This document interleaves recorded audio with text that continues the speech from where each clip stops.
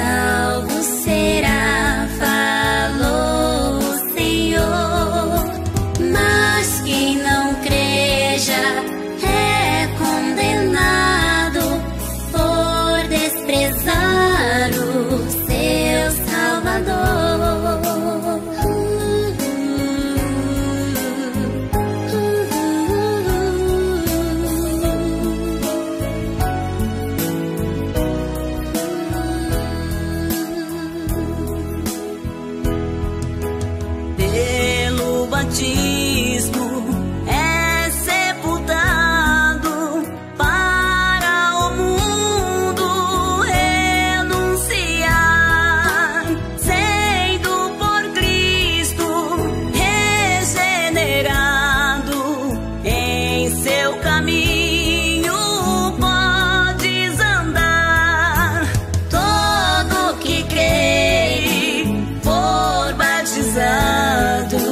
salvo será, falou o Senhor.